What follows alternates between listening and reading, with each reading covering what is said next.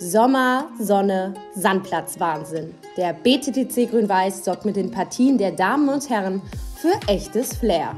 Das Niveau war sehr gut. Äh, und die jungen Leute haben wirklich top gespielt und zum Glück haben wir beide Mannschaft, erste und zweite, konnten wir nach den Einzelnen schon gewinnen, was natürlich alles beruhigt hat danach für die Doppel und war ein schöner, erfolgreicher Tag. Der erste Aufschlag des Tages gehört der Ostliga.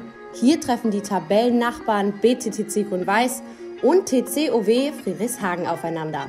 Genauer gesagt Laszlo Urrutia Fuentes und Tom Just. Der BTTCer spielt seine Stärke aus, zieht die Zuschauer in den Bann und sichert sich schnell den Sieg. Ich fühle mich hier sehr, sehr wohl.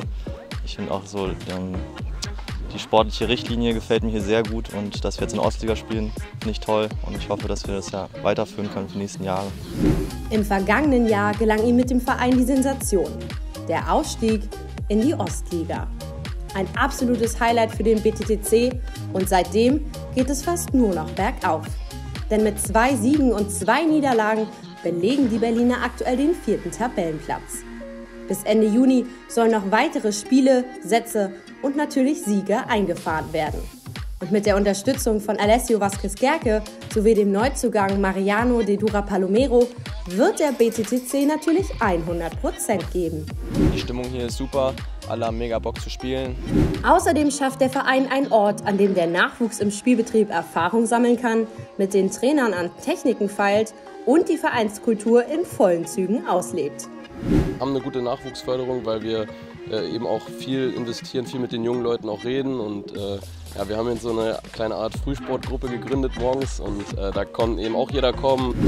So ergeht es auch Sebastian Heinrich, Jahrgang 2009, der als jüngster Spieler des Teams in der Verbandsoberliga aufmischt.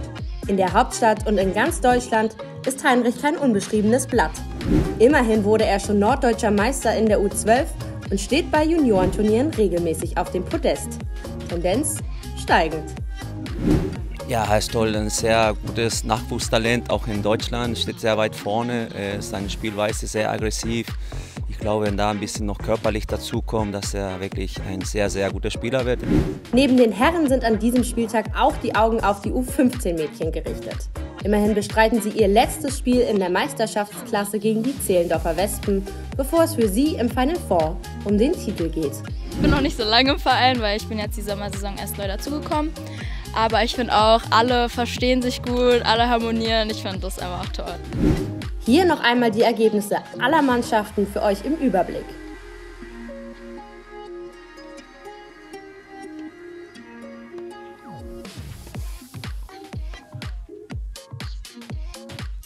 Bei viel Sonnenschein und bester Stimmung sorgten die Herren und Damen des BTTC Grün-Weiß für einen absoluten Sandplatzwahnsinn.